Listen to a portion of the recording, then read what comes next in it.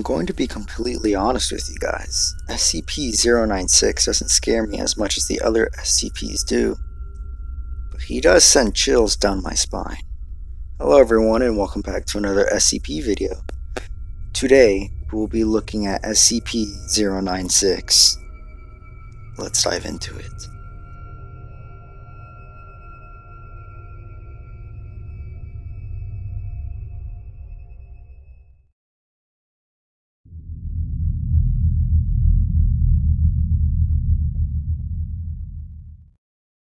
SCP-096 is a humanoid creature measuring approximately 2.38 meters in height.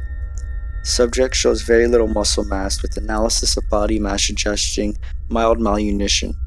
Arms are grossly out of proportion with the rest of the subject's body with an approximate length of 1.5 meters each. Skin is mostly devoid of color with no sign of any hair.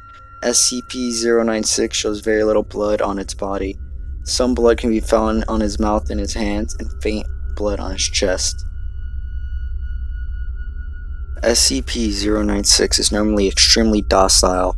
However, when someone views SCP-096's face, whether it'll be directly, via video recording, or even a photograph, he will enter a state of considerable emotional distress. SCP-096 will then cover his face with his hands and begin screaming, crying, and babbling incoherently. Approximately 1 to 2 minutes after the first viewing, SCP-096 will begin running to the person who viewed his face, who will from this point on be referred as SCP-096-1.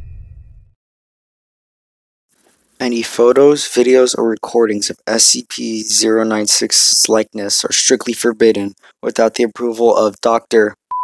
and O5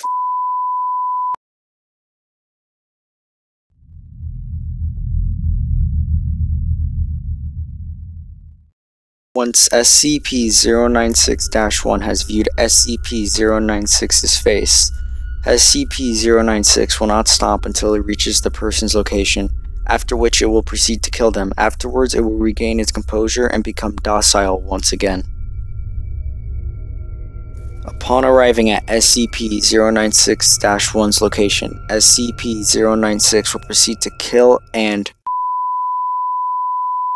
SCP-096-1. Uh, 100% of cases have left no traces of SCP-096-1. SCP-096 will then sit down for several minutes before regaining its composure and becoming docile once again.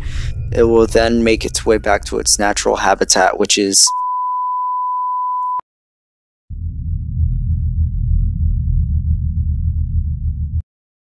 No unknown material or method can impede SCP-096's progress. The actual position of SCP-096-1 does not seem to affect SCP-096's response. It seems to have an innate sense of SCP-096-1's location. This does not apply when viewing artistic descriptions of SCP-096. So far, there is no way of stopping SCP-096 once someone has saw its face.